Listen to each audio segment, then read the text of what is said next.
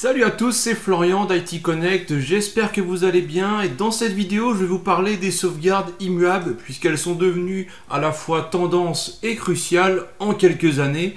Alors vous allez me dire pourquoi? Et eh bien ça vous allez le découvrir dans la suite de la vidéo puisque ce ne sont pas des sauvegardes comme les autres, elles vont nous apporter un niveau de sécurité supplémentaire. Alors dans cette vidéo ce sera uniquement de la théorie, je vais vous passer quelques slides et vous parler euh, de sauvegardes, notamment comparer les sauvegardes classiques aux sauvegardes immuables. Et par la suite, il y aura sûrement d'autres vidéos où l'on mettra un petit peu en pratique cette notion de stockage immuable, de sauvegarde immuable. Alors si vous souhaitez en savoir plus, eh bien n'hésitez pas à regarder la suite de la vidéo, mais avant cela, pensez à vous abonner à la chaîne YouTube. Avant de vous parler des sauvegardes immuables, eh bien, je vais tout simplement faire quelques rappels sur la notion de sauvegarde.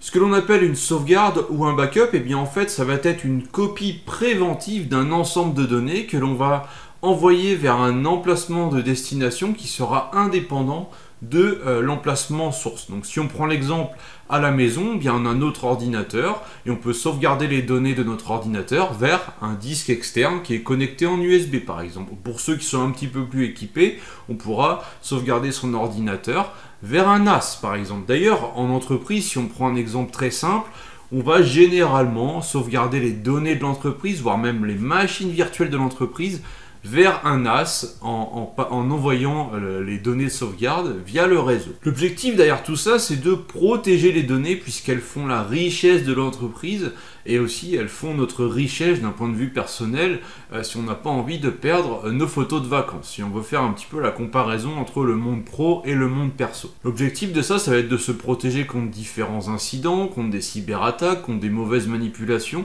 dans l'objectif de pouvoir restaurer les données à partir de la sauvegarde dans le cas où il y a un incident. Si on prend l'exemple toujours des sauvegardes classiques, on va envoyer les données sauvegardées vers un emplacement de stockage et cet emplacement de stockage sera accessible en lecture et écriture. C'est-à-dire que la solution de sauvegarde pourra écrire les données de sauvegarde, elle pourra également les lire. Et nous, en tant qu'administrateur, on a également accès à cet emplacement de stockage sur lequel on va pouvoir aussi lire et écrire, ce qui veut dire que l'on peut ajouter des données, modifier des données ou les supprimer. Tout cela m'amène à faire une petite transition vers euh, le schéma qui est en bas de la slide où on peut voir que les sauvegardes classiques sont vulnérables à un certain nombre de menaces entre guillemets. Donc on va avoir par exemple les erreurs humaines, euh, la suppression volontaire de données mais également les ransomware puisque les ransomware vont pouvoir chiffrer les sauvegardes de manière à les rendre inutilisables. En réponse à cette problématique, on va avoir ce que l'on appelle les sauvegardes immuables. Alors tout d'abord, l'adjectif immuable, qu'est-ce que ça signifie? Bien, si on regarde les définitions officielles dans le dictionnaire Larousse, on peut voir qui, par nature, n'est pas sujet au changement et demeure identique à soi-même. Et on a également une autre définition qui demeure inchangé, ne subit pas ou ne paraît pas subir de modifications pendant un temps relativement long. Alors comment faut traduire ça quand on va parler de sauvegarde immuable? Eh bien tout simplement ça veut dire que c'est une sauvegarde qui ne peut pas être altérée, donc c'est une sauvegarde qui ne peut pas être modifiée, ni écrasée, ni supprimée. Et ceci va être lié directement à une méthode de stockage bien précise qui s'appelle Worm, euh, que je vous ai mise à l'écran et qui en fait va signifier tout simplement que l'on va pouvoir écrire une seule fois les données et les lire plusieurs fois. Effectivement, la sauvegarde va être écrite une seule fois sur l'emplacement de stockage et elle va pouvoir être lue plusieurs fois, notamment si on a besoin de lire la sauvegarde pour restaurer des données.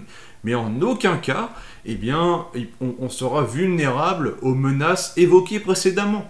Une erreur humaine, euh, la suppression de données ou les ransomware, tout ça sera bloqué grâce au fait qu'on utilise des sauvegardes immuables. Puisqu'on ne peut pas ni modifier, ni écraser, ni supprimer, un ransomware ne pourra pas chiffrer les sauvegardes.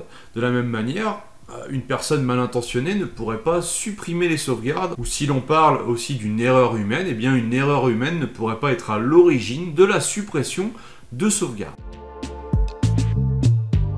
Donc je vous disais en introduction que euh, ces sauvegardes sont à la fois tendance et cruciales. Mais pourquoi doit-on considérer que ces sauvegardes sont cruciales? Eh bien tout simplement parce que euh, il y a de plus en plus de cyberattaques depuis plusieurs années, notamment des, attaques de type ransomware hein, que je viens d'évoquer. Lors de cette attaque, le ransomware va chiffrer les données de production de l'entreprise, donc sur les serveurs en production, voire même les machines virtuelles, donc ça peut être l'un ou l'autre, et en plus, et c'est de, plus en plus fréquent aussi, eh bien, le ransomware va chercher à détruire les sauvegardes, donc il va chercher à chiffrer les sauvegardes. Et si on se met dans la peau euh, de l'administrateur système qui doit restaurer l'infrastructure euh, compromise et chiffrée, eh bien en fait il se retrouve d'un côté avec des données des serveurs virtuels chiffrés et de l'autre avec des sauvegardes qui sont également chiffrées et potentiellement eh inutilisables. Et donc ça compromet nos chances de remettre en service euh, l'infrastructure de l'entreprise. Et pour le coup, c'est ce que cherche euh, le cybercriminel, puisque lui, son objectif, c'est qu'on paye la rançon. C'est pour ça qu'il va chercher aussi à saboter les sauvegardes. Donc sans données de production et sans sauvegarde, on est vraiment euh, dans la galère, il faut le dire.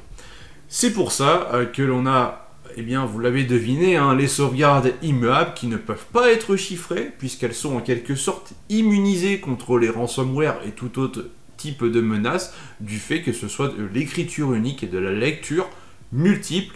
Et donc dans ce cas-là, on n'aura pas besoin de payer la rançon, puisque même si nos données sont chiffrées et nos serveurs sont chiffrés, eh bien, certes, ça va être la crise, mais on, sait que l'on a des sauvegardes qui vont être fiables et que l'on va pouvoir restaurer puisque elles, elles sont, euh, elles sont protégées en quelque sorte.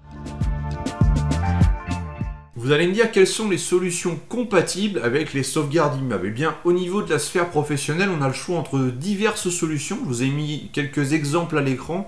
Alors, c'est pas du tout pour leur faire de la publicité. Hein. D'ailleurs, c'est sûrement des solutions que vous connaissez déjà pour certaines. C'est également une liste qui n'est pas exhaustive, mais vous avez quelques noms de produits qui intègrent euh, aujourd'hui des fonctionnalités de euh, sauvegarde immuable. Et je pense vraiment que c'est un critère important au moment où vous allez choisir euh, une solution, de vérifier qu'elle prend bien en compte les sauvegardes immuables, notamment vers le cloud, puisque bien souvent, on va faire des sauvegardes immuables externalisées, par exemple dans AWS, Azure, ou pourquoi pas dans Wasabi Cloud. Pour mettre en place une stratégie de sauvegarde efficace, vous devez vous fixer l'objectif d'avoir au moins une copie de sauvegarde immuable. Donc il y, a, différentes bonnes pratiques hein, par rapport aux sauvegardes, notamment la règle du 3-2-1.